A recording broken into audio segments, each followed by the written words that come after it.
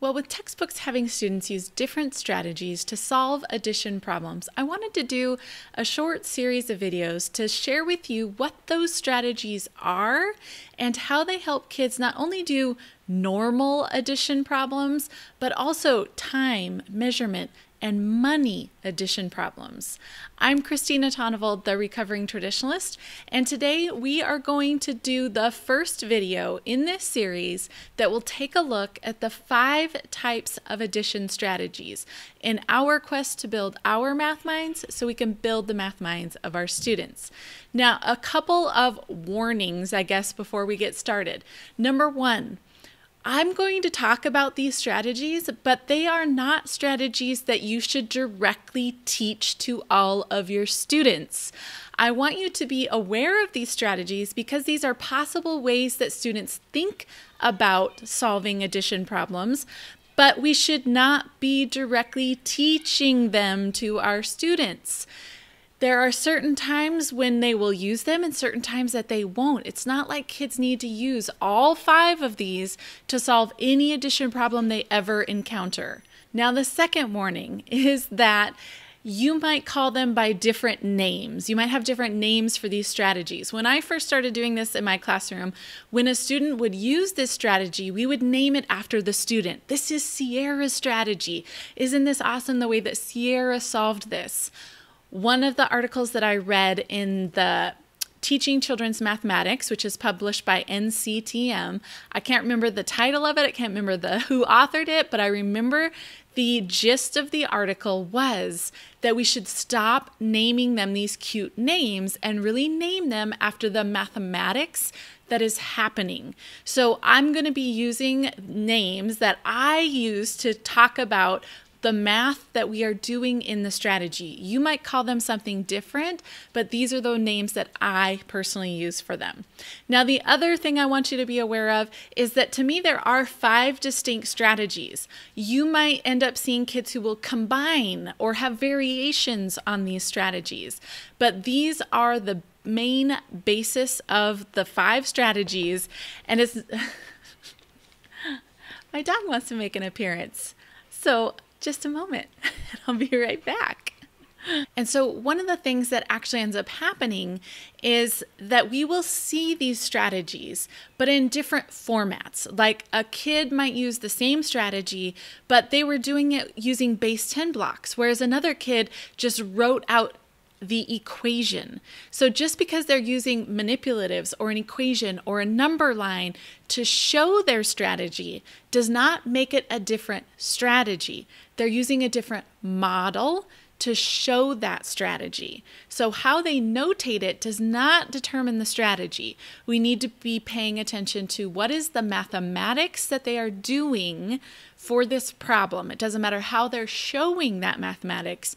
The strategy is based upon how what they are doing with the numbers and what's the root of the mathematics. All right, so let's dig into those five types of addition strategies.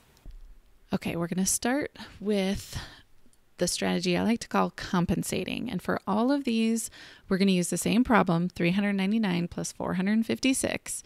And I like to call this one compensating because to me, compensating is when you do something you're not supposed to do and you need to compensate for it.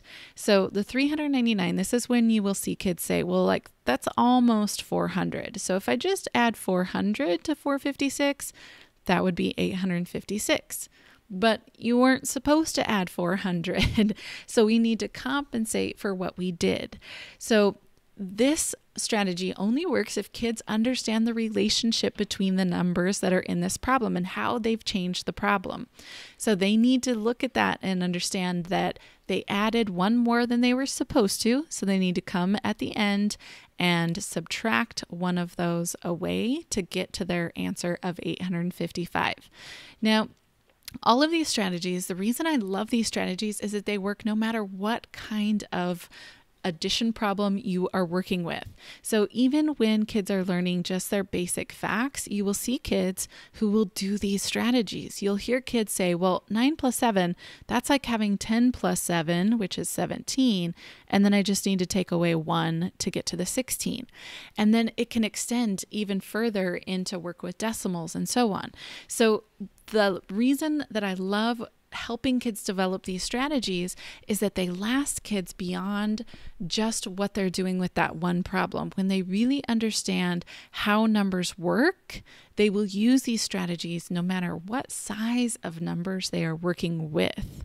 Okay, one that is really similar to compensating is one that I call give and take. So it's the kids who want to use 400 because they see that that would be nice, but instead of just rounding it to the 400, they decide I'm going to take one from the 456 and give it to the 399 so that I have 400, but then I'm only left with 455 in that space now. So it goes directly, they can get directly to their answer after they have kind of done this adjustment. So they're still moving things around, but they do all of the adjustments before they go to actually solve the problem. So with our young kids, that might look like this with the 9 plus 7. You might see a kid who says, Well, I'm going to take one from the 7 and give it to the 9. So I've got 10, and then I've got 6 left over. So 10 plus 6 gives me the 16. So again, these are really related, but it's like, what are they seeing as the relationships? How are they going about the problem? So that's what really makes a difference between the two strategies. Another strategy that kids will devise is that they will see that 456 and they'll say, I don't want to add it all at once, right? They will want to break it apart into chunks that make sense for them. And this is what I call decomposing because it's just like decomposing in science, it's breaking it down into smaller pieces. So you might see a kid who, this might show up like on a number line. They might show it on a number line. I don't really like to show this one on a number line because it's hard to be proportional. So I'm doing this on an iPad, so don't judge me if my hops are not totally proportional. I know they should be. But you might see a kid who says, I want to do add one here because it's going to get me to the 400. Sounds similar to what we've been doing already in these other strategies, right? But it looks a little bit different from this point on. Is that once they get there, then you might see a kid who goes, okay, now I'm going to add 400. I'm going to do a big chunk of it. And then I'm going to add a 50, right? But the hard part here is that they need to know how much they've added. They have to keep in mind that they need to add the entire 456, but they can do it in chunks, but they have to keep track of what those chunks have added up to. So along the way, they need to be holding in their head that they've done 450 and one, and then think about how much more do they need, right? They need to know once they've done 451, how much more is that to 456? So they need to know that there's five more. See, there's no, my hop for five looks the same as hop for 50 and then they would get to 855. Okay, so there's a lot of number sense that goes into play here. They need a lot of knowledge about how these numbers work. Right? The general idea is that they are keeping one of the numbers the same, the 399, and then they're breaking apart the other number into smaller chunks. And that doesn't matter if they do it on a number line or one of my favorite ways to show this is just using arrows to show what I am doing so that I don't have to worry about being proportional. So I'm going to do 399 I'm just doing a little arrow. I'm not using the equal sign because you can get this big mathematical run on sentence, is what I like to call it. So I just use arrows instead of equal signs here. So I've got 399 plus 1 gets me to the 400. And then I'm going to add another 400, gets me to 800. And then maybe this time I might add the 55 all at once. It doesn't matter what their chunks look like, as long as the general idea is that they're breaking one of the numbers down into chunks to make it friendlier to add. And again, it doesn't matter if they do that on a number line or they show it with these arrows or they make different equations for every single step that they do. The idea is that they're just breaking it down into smaller chunks to make it friendlier to add. Kids will do the same thing with like 9 plus 7, right? They might do 9 add 1 gets me to 10, adds the add the 6 gets me to 16. Now this looks a lot like give and take, but it's because there's not a whole lot of ways to break up the 7, right? You may even see a kid who maybe can't add the 6 all at once so they add one more and they get to 11. They add one more, they get to 12, and so on it goes. They just add one by one by one, right? That's the extreme form of decomposing is doing it one by one by one. But even with these upper uh, amounts, you might see a kid here at that 400 stage, they might not be able to add the 400 all at once. They may add 100 then another 100, then another 100, then another 100, right? The idea is they're breaking it down into friendly chunks that are friendly for them. All right, another strategy where kids are breaking apart numbers is where they break apart by place value. Um, some textbooks will call this the hundreds, tens, and one strategy. I don't really like that strategy because it limits kids to thinking they can only do it with hundreds, tens, and ones. When they get into decimals, I want them to still be able to use this strategy. The general idea is that they're breaking it down and they are adding the the values together in each place value, and then they're putting those together. So some of you may see this as expanded form. So sometimes it doesn't, again, it doesn't matter how you model it, it is the idea of what's the mathematics that we are doing. I'm going to do a really shortened version of this here. And you could have it out in expanded form, but we're doing the same thing. The idea is that I'm adding my hundreds together. I have 300 and 400, that gives me 700. I add my tens together. 90 plus 50 is 140. And oftentimes, what you'll hear kids do right here is they'll be thinking off to the side here that that's already 840. Then, when they add their ones, they get the 15. Whoops. And then they can add that to the 840 and they get their 855, right? All they're doing is adding the chunks by place value. And this kids will naturally do if they have a lot of work with place value. All of these strategies are dependent upon number sense and place value. You cannot directly teach it if kids don't already have a foundation of number sense and place value. Now, these are things that we go really deep into in my number sense courses, but I'll also link um, to some free videos that I have about the basics of number sense so that you can get a, a foundation of where to start with your kids because if they don't have these ideas, they'll never be able to really latch on to these strategies. Now, with nine plus seven, you don't really have a place value strategy because there aren't any other place values. You just add your ones and your ones. When we get into things like 19 plus 17, then you've got some place values to work with, and then they'll add their tens with their tens and their ones with their ones. Okay? But before that, there's no real place values to have to work with here. All right, our last one is the traditional algorithm, or what in the United States we call the traditional algorithm. This is the way that we traditionally learned how to solve addition problems. Set it up, and we add our ones, and then we carry it over, add our tens, carry that over, and then we've got our answer. Now, it's called an algorithm because you can program a computer, a calculator to do it. It is the same steps every single time. There's no real decision making to have to do here. You don't need number sense. You don't even have to have place value here. All you have to do is single digit addition and then be able to carry the one over and carry the one over. There's no real judgment that has to go into this, which is one of the reasons why we use it. You do the same steps over and over again and it works every single time, but it is devoid of place value and it's devoid of number sense unless we bring that in as teachers. That's why in most states, the standards bring in the traditional algorithm at fourth grade. Before that time, we need to be building their number sense and their place value to help them be able to see and build those other strategies that we've talked about.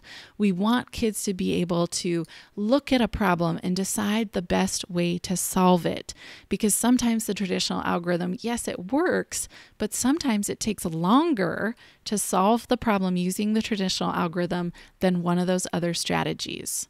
So, the main idea from these videos, what I want you to really take away from it is yes, there are five different ways to solve an addition problem. but we do not need to be making kids solve this one problem five different ways. We need them to be able to look at the problem and then decide for themselves what's the best way to solve this problem, what makes sense. Because what makes sense for this problem the 399 plus 456 is different than what should make sense for the problem 323 plus 456. How we solve these two problems should be different. We should not approach them the same way.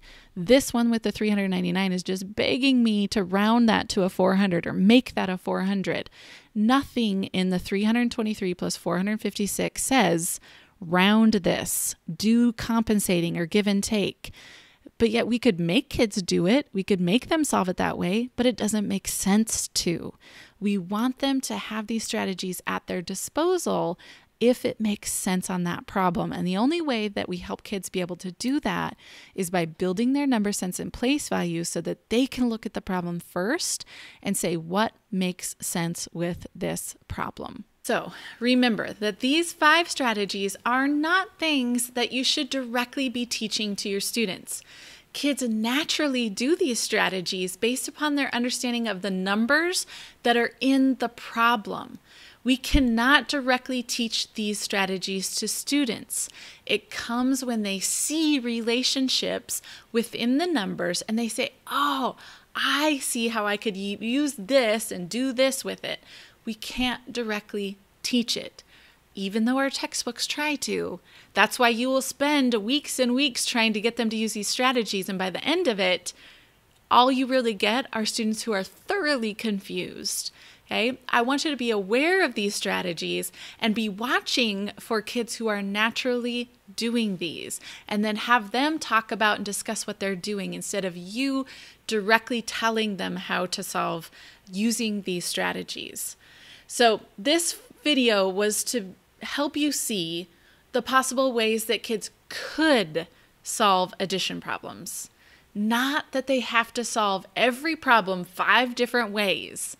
I just want you to be aware of these different ways because if you were at all like me back when I first started teaching, the only way I knew how to do it was the traditional algorithm. And when kids solved it a different way, I really had no clue what they were doing. I could not tell what they were doing. And I would just say, uh, don't do it that way, do it this way. And I would tell them this way to do the traditional algorithm. The ways that kids are solving these are important pieces, but they needed to be coming naturally from them, not us directly teaching them. So I want you to be aware of them so that you can be watching for them and pull them out when you see kids using them. All right, I hope that this video helped you build your math mind so you can go build the math minds of your students. Have a great day.